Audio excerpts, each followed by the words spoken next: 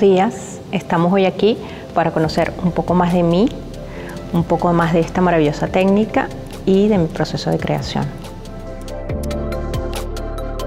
Los nudos, parte de las relaciones que tenemos con cada una de las personas, largas, cortas, unas un poco más fuertes que otras, pero siempre cada uno de ellos va a representar qué tipo de relaciones tuve en mi vida.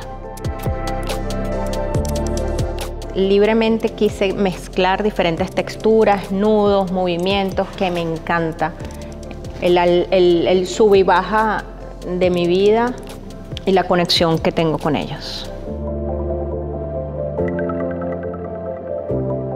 12 lágrimas, 12 meses del año, cada mes con un proceso de vida, doradas, porque han limpiado el alma, porque me han hecho evolucionar, me han hecho crecer y creer en mí. ¿Por qué diferentes tipos de materiales? Porque quise crear libremente, sin juicio, sin etiquetas, simplemente demostrar un sentir quién soy y cómo me describo. Eso representa esta pieza.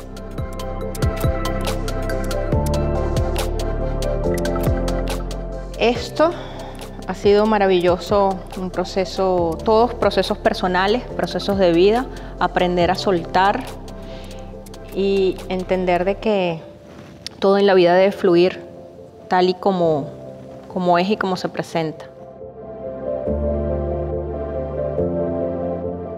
Las burkas, inspirada en la mujer de Afganistán, las mujeres que por más que han estado tapadas y privadas de una libertad, siempre tienen una luz interna que las ilumina, no solo ellas, sino todas las mujeres.